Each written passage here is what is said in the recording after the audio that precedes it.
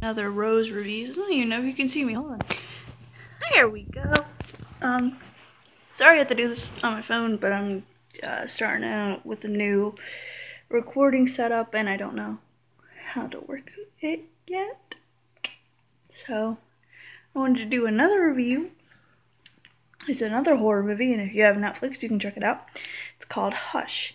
Now, the movie is about a deaf woman who lives out in the country by herself, and uh, a serial killer.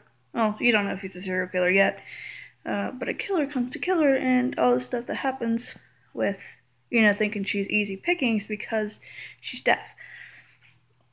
Now, I didn't know it was about a deaf girl until I watched it because I don't really like to read the little synopsis about the movies because I feel like it, sometimes it can ruin it, and sometimes it can sound like the movie isn't as good as it as it is when you actually watch it. So I didn't really pay too much attention to that.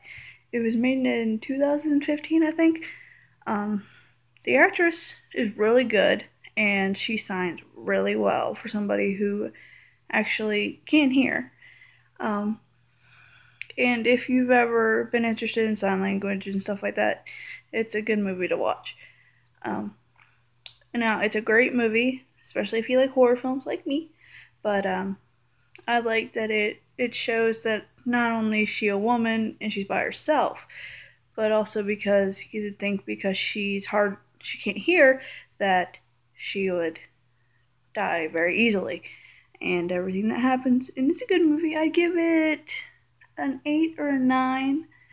Um, it, like I said, it's a good film. If you have Netflix, you should definitely check it out, especially if you like horror films.